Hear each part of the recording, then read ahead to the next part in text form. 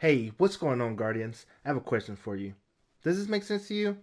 Well, it will in just a bit. By the end of this video, you'll be one step closer to becoming legend.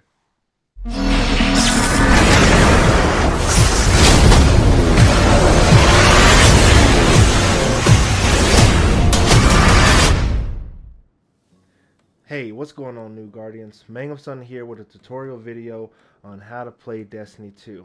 And we're going to start right now with the in orbit menu.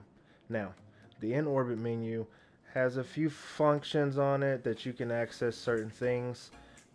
So, first, we're going to go over the fire team area located at the top right hand corner of the screen. In the fire team area, you can hit details to access more details for that person to bring up the details menu. If I had more people in my fire team, I would be able to hit the triangle button and inspect them. But we're to go over that later in the video when we access the roster. Because everything that we can do in the roster, we'll be able to do in the fire team menu, right?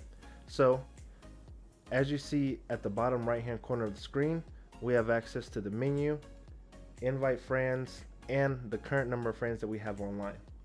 Or we can go ahead and access the director by hitting the open director button located in the middle of the screen. Or you can hit the touchpad in the middle of your controller that will also give you access to the director. Now, within the director, you can see that all the planets that you have access to are located on here. If you didn't have access to that planet, when you hovered over that planet, it will have a red unable to be accessed because you don't purchase that content, right? So we'll talk about purchasable content later in the video as well. So we're just gonna go over, for the video's sake, we're gonna stay here on this screen and we're gonna go over the destinations menu. Now this menu, like I said, has all the planets on it, but it also has some sub menus on it, such as the Vanguard, Gambit, and the Crucible within these sections, so we also have these gold dots that are on the map. The gold dots on the map represent challenges. Now, if we click on a planet that has a gold dot, we can then use the map associated with that, and that will tell us what challenge is available for that planet. So on Mercury, the sundial activity is the challenge for that planet. Now, if we go down into what the Vanguard has, we have these two activities here, Vanguard Strikes and the Nightfall Ordeal, as the challenges for this content. Now, going into the Vanguard, the Vanguard has strikes, nightfalls, and heroic story missions, right? So the heroic story missions are they're harder versions of that.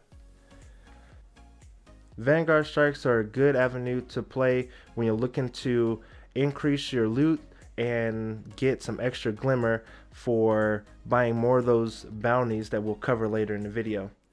As far as the Nightfall Ordeal, it does have some different levels, different modes that you can select here from Adept to Hero to Legend and Master.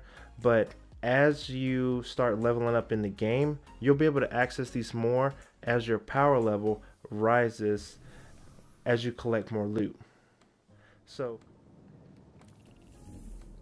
now going back to the directory, if we use our scale of difficulty as an example of what loot we can get as we play more and more difficult content, you can see that the rewards are increased for a more rewarding playstyle for that challenging content. Now on the right hand side of the screen, we have our regular Nightfall. This is not a match made activity, so you will need two other fire team members to be in your group in order to run it efficiently. You can run it by yourself, but it's not advised. When it comes to the map section of the directory, when you load a planet's information, you are generated a map on your screen. And this map will have various icons from different colors that detail different things about them. The down arrow circular dots will be the landing areas that you can land at, and the blue ones, as far as the tower goes, or if any NPCs in the game have these blue banners on them, that means that they also have challenges that you can complete for weekly or daily gear. If there's an NPC that is pulsing, that means they have something for you. If that NPC happens to have a pulsing sign with four golden lines, that means that you've completed a challenge that they've required of you for that week. Now, as for new light players, you can come over here to Amanda Holliday and she'll have the three campaign quests that you can pick up for the Red War, the Osiris DLC, and the Warmind DLC. So now the quest menu can be a little bit more difficult to navigate. You have these numbers up here, you have these numbers down here, and then you have the bounties on the right hand side of the screen, and you have quests on the left hand side of the screen. Okay, so as a new player, you're going to have a lot more quests and you're going to have a ton of bounties. You're going to have an overwhelming amount of bounties and an overwhelming amount of quests. But what we need to establish is grind with a purpose.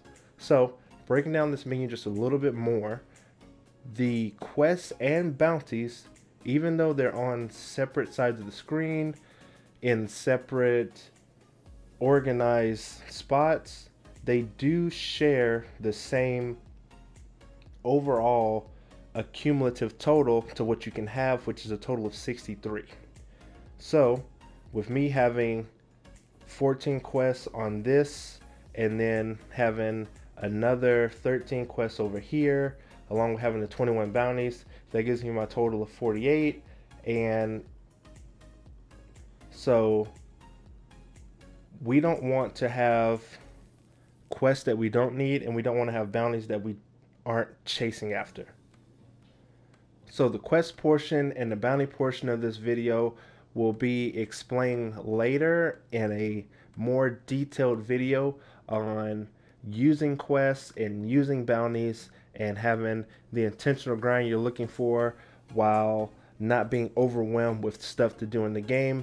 Because there's so many things to do in the game and everybody and everything from everywhere is going to be like go do this but you need grind with a focus and we're going to explain that in a later video now the eververse store the eververse store is a place where people get it a bit twisted now many people say oh well the eververse store has in there items that should be earnable in game. But a store is a store, and a store is meant to sell things. So I'll use an example. If we were to go into a convenience store and we wanted a water, just because we walked into the store thirsty for water doesn't mean that we're going to be rewarded with water without giving a cost for that water. So, if you want things out of a store, you have to purchase it. So this functions in the same way. If you want to go out there and you want to look cool, right? If you want to do things like all the other cool kids are doing, you're going to have to pay for it. And you can argue that, well, it's a game, I should be able to earn it. Well, it's also a game that has a store.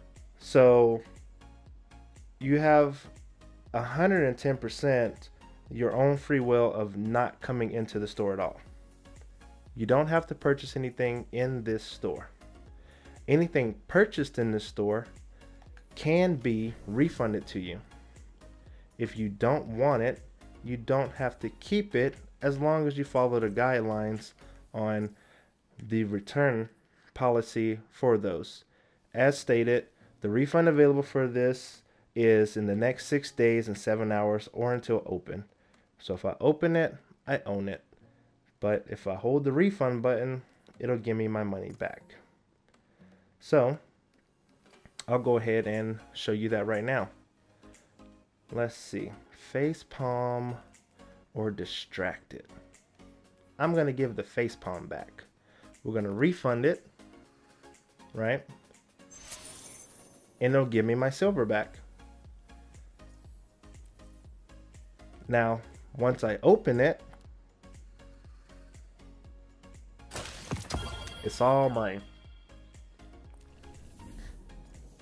And if you decide to purchase something from the store,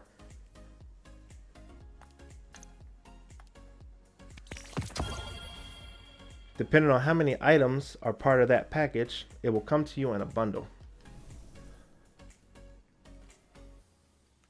As such, the roster area of the directory shows you all the friends that you have that are online, all the friends that are online that aren't playing Destiny, all the friends that are online that are in your clan, and all the friends that are in your current fire team. Now, you can, like I said before, inspect them by hitting the triangle button to see what gear that they're running, what subclass, what weapon, and so on and so forth. Or you can also hit the details menu and invite them to your fire team, join their current fire team, Inspect the player from this menu, view their PlayStation profile, and inspect their clan or invite them to your current clan.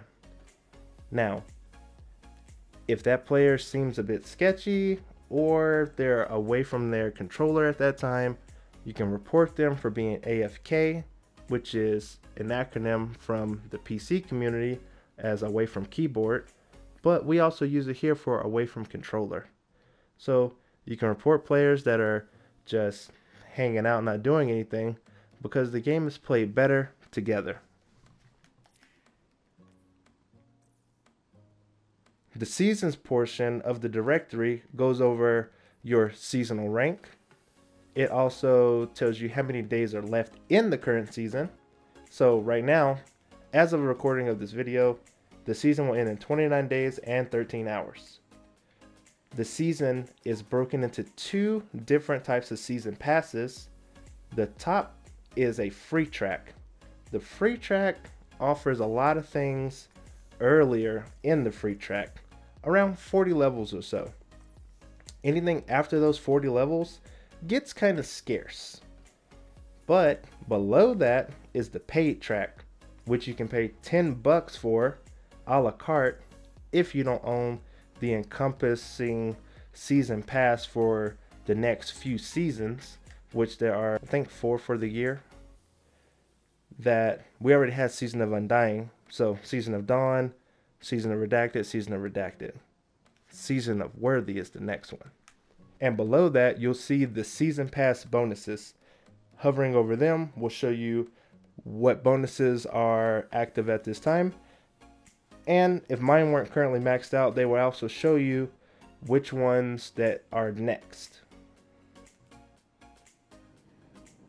But as always, all good things must come to an end. So if you have any questions about anything that I went over in the current video, go ahead and leave them in the comment section below and I'll be glad to get back and answer any questions to the best of my ability to you guys.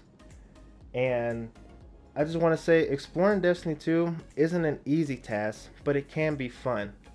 Just sometimes we all need a guide. So, don't forget to like, share, and subscribe, and I'll see you in the next one.